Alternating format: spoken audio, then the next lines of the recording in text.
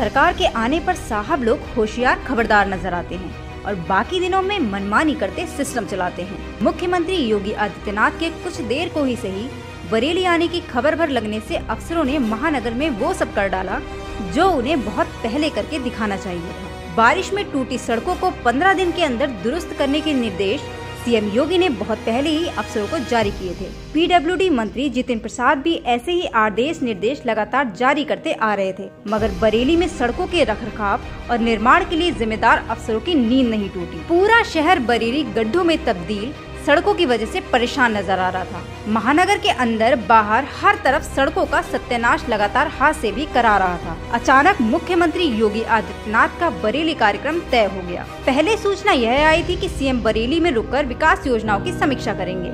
लखनऊ से ये संदेश आते ही अफसर जैसे नींद से जाग गए। आनंद फानंद में सड़कों के गड्ढे भरने का काम शुरू हो गया।